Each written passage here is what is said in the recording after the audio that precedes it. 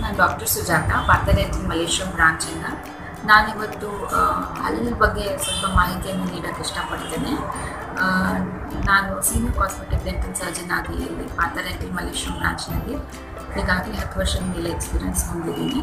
So ಇಲ್ಲಿ ಪಾರ್ಥಡೆಂಟಲ್ನಲ್ಲಿ ನಾವು ಈಗ ಅವೇರ್ನೆಸ್ ಪ್ರೋಗ್ರಾಮ್ಸ್ ನಡೀತಾ ಇದ್ದೀವಿ.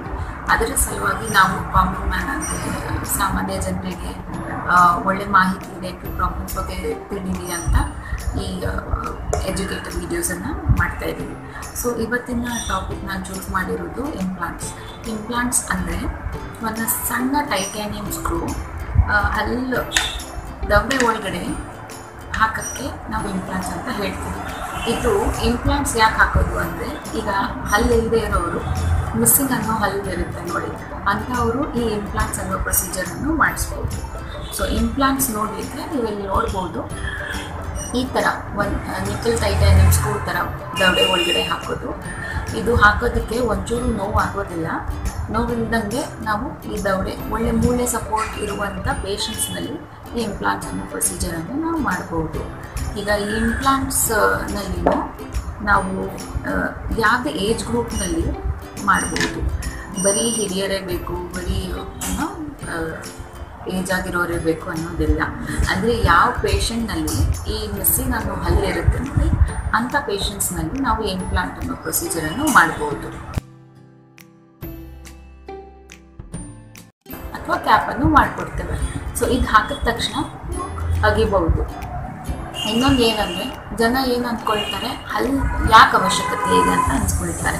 ನಾವು ಅಕಸ್ಮಾತ್ ಈ ಹಲ್ಲನ್ನು ರೀಪ್ಲೇಸ್ ಮಾಡಿಲ್ಲ ಅಂದರೆ ಅಕ್ಕಪಕ್ಕ ಹಲ್ಲುಗಳಿದ್ದಾವೆ ನೋಡಿ.